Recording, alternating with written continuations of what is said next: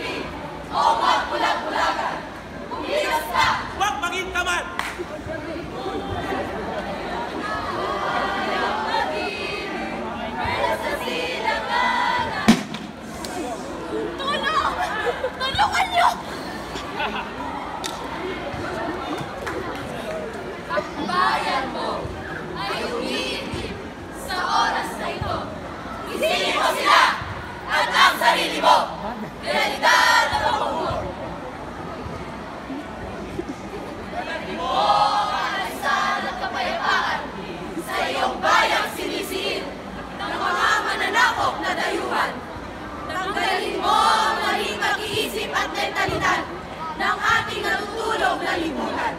Nah, kemana tinggal?